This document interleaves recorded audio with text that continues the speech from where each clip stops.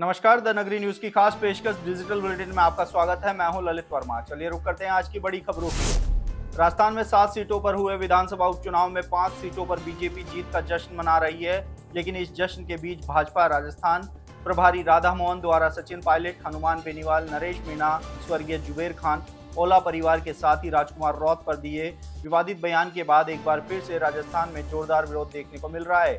हनुमान बेनीवाल के समर्थकों ने राधा मोहन का जमकर विरोध कर शुरू कर दिया है। तो वहीं सचिन पायलट के समर्थक भी एक बार फिर से राधा मोहन के विरोध में खड़े हो गए हैं। ऐसे में एक बार फिर से राधा मोहन के इस बयान से राजस्थान की राजनीति में गर्माहट का एहसास होने लगा है। तेरह नवंबर को समरावता में हुई घटना के बाद पुलिस ने नरेश मीणा को हिरासत में लेकर कोर्ट में पेश किया था, जहाँ से नरेश मीणा को 14 दिन की न्यायिक हिरासत में भेज दिया गया था और अब इस न्यायिक हिरासत की अवधि पूरी होने जा रही है।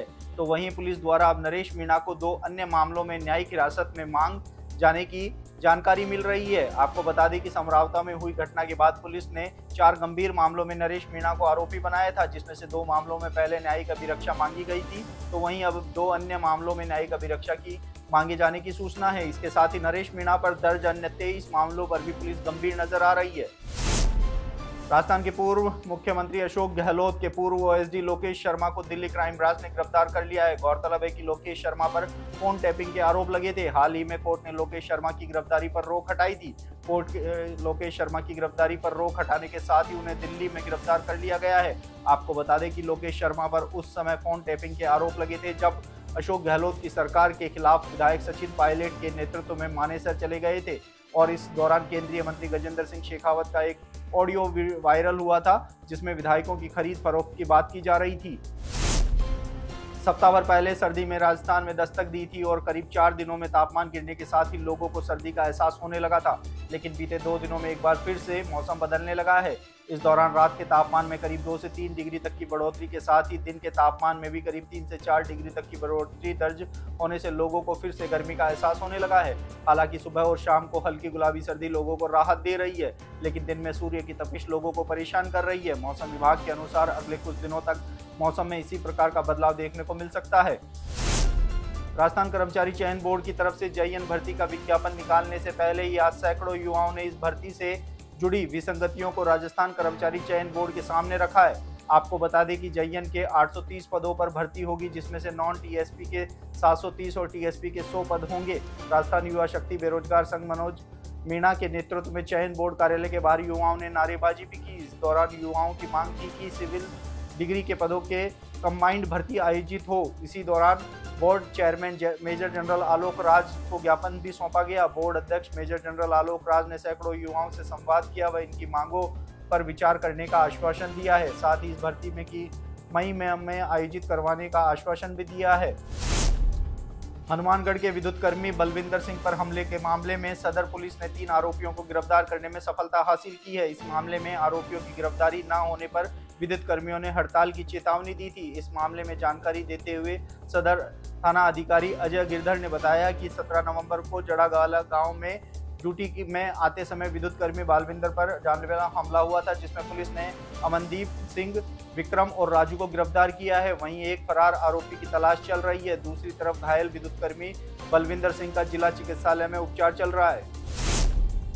राजस्थान कर्मचारी चयन बोर्ड द्वारा भर्ती परीक्षाओं में नकल और धांधली रोकने के लिए अब टैबलेट बेस्ड टेस्ट, यानी कि टीबीटी कराने की तैयारी की जा रही है। इसके लिए जयपुर के दुर्गापुरा स्थित कर्मचारी चयन बोर्ड कार्यालय में 26 और 27 नवंबर को मॉक टेस्ट का आयोजन किया जाएगा। इस टेस्ट को कर्मचारी चयन बोर्ड ने ऑपरेशन गोडावन का नाम दिया है। राजस्थान कर्मचारी चयन बोर्ड के अध्यक्ष आलोक राज ने बताया कि भर्ती परीक्षाओं में नकल और धांधली रोकने के लिए बोर्ड ने टैबलेट मोड पर भर्ती परीक्षा की आयोजन की तैयारी की है, इस प्रक्रिया कितनी कारगर होगी, इसको जांचने के लिए सबसे पहले मॉक टेस्ट का आयोजन किया जा रहा है। ये मॉक टेस्ट 26 और 27 नवंबर को जयपुर में आयोजित होंगे।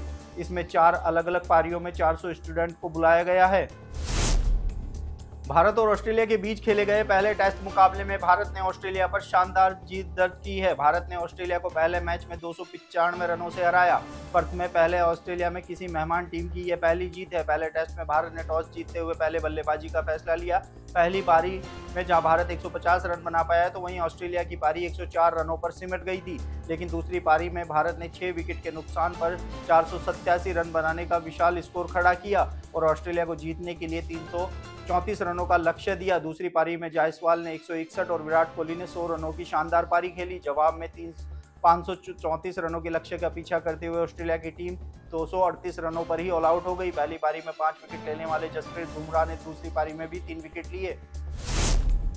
दुनिया की सबसे महँगी और लोकप्रिय क्रिकेट लीग आईपीएल में इस समय मेगा ऑक्शन चल रहा है। 24 नवंबर को शुरू हुए ऑक्शन में पहले दिन भारतीय खिलाड़ियों का दबदबा नज़र आया। ऋषभ पंत आईपीएल इतिहास के सबसे महँगे खिलाड़ी बने। ऋषभ पंत को लखनऊ सुपर जायंट्स ने 27 करोड़ रुपए में खरीदा तो वहीं पंजाब किंग्स ने श्रेयस अय्यर को 26 करोड़ पिचहत्तर लाख रुपए में, साथ ही कोलकाता ने वेंकटेश अय्यर को 23 करोड़ पिचहत्तर लाख रुपए पंजाब ने अर्शदीप और यजवेंद्र चहल को 18-18 करोड़ में खरीदा। आईपीएल 2025 ऑप्शन में टॉप पाँच बोली वाले पाँचों खिलाड़ी भारतीय ही हैं। वहीं पहले दिन चौरासी खिलाड़ियों पर बोली लगी, जिसमें से बहत्तर बिके और कुल चार सौ सड़सठ करोड़ पिचानवे लाख रुपए खर्च किए गए। प्रदेश के स्कूलों में अगले महीने 12 दिसंबर से अर्धवार्षिक परीक्षा शुरू होने जा रही है, लेकिन प्राथमिक और उच्च प्राथमिक स्कूलों में तृतीय श्रेणी शिक्षकों के चौदह हज़ार पद रिक्त चल रहे हैं। ये पद अब अगले शिक्षा सत्र में भी भरे जा सकेंगे। राज्य प्राथमिक और उच्च प्राथमिक स्कूलों में तृतीय शिक्षकों के रिक्त पदों को भरने के लिए, हालाँकि राज्य सरकार ने रीट पात्रता परीक्षा की घोषणा कर दी है। राजस्थान पात्रता परीक्षा के विज्ञापन को लेकर शिक्षा मंत्री की अध्यक्षता में कल जयपुर में एक बैठक हो सकती है। आपको बता दें कि पूर्व में शिक्षा मंत्री ने कहा था कि इस परीक्षा का विज्ञापन 25 नवंबर तक जारी कर दिया जाएगा, मगर राजस्थान बोर्ड अजमेर को अधिकृत सूचना नहीं मिलने के कारण यह विज्ञापन बोर्ड की तरफ़ से जारी नहीं हो पाया था। अब कल शिक्षा मंत्री इस परीक्षा को लेकर बैठक लेंगे, उसके बाद ही इस परीक्षा की तारीख और आवेदन की जानकारी सामने आ सकती है। तो ये थी दिन भर की तमाम बड़ी खबरें। कल फिर से आपके साथ रूबरू होंगे। तब तक के लिए नमस्कार।